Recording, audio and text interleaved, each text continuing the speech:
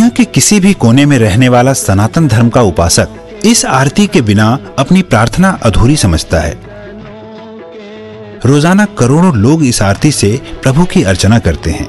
एक एक शब्द आत्मा को स्पर्श कर जाता है। लेकिन क्या आप जानते हैं कि इस आरती के रचयिता कौन थे? बड़ी विडंबना है कि करोड़ों लोगों द्वारा सस्वर पाठ की जाने वाली आरती के रचयिता के बारे में लोगों को जानकारी ही नहीं है। ओम जय जगदीश हरे।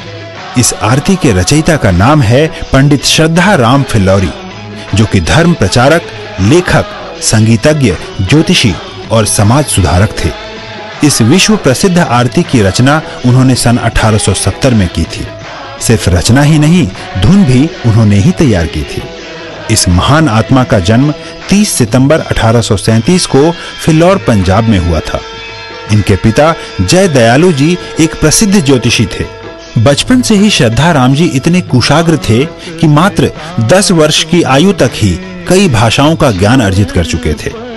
लोग इस बालक की कुशाग्रता से प्रभावित होते थे, लेकिन किसी को मालूम नहीं था कि इस बालक की रचना युगों तक प्रचलित रहेगी।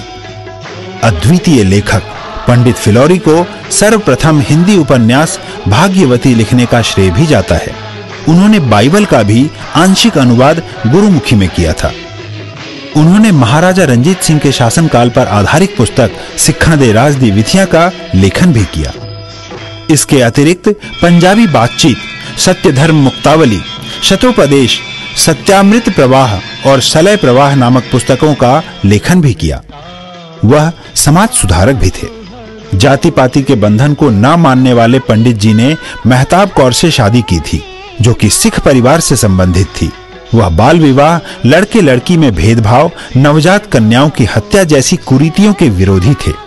उन्होंने स्त्रियों को समान अधिकार दिलवाने और उनके शिक्षा का समर्थन एवं प्रचार भी किया। पंडित श्रद्धाराम फिलौरी अठारह के प्रथम स्वतंत्रता संग्राम से प्रभावित होकर लोगों को एकत्रित करके देशभक्ति की गाथाएँ सुनाते थे। अंततः ब्रिटिश सरकार ने उन्हें फिलौर से पलायन करने का हुक्म दिया। वह पहले अमृतसर और फिर लाहौर पलायन कर गए।